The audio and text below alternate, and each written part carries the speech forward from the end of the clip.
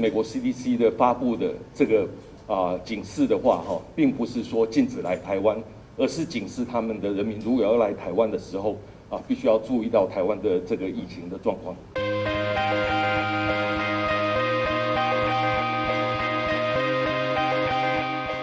美国 CDC 保证了这个对台湾的警示，甚至比中国还要高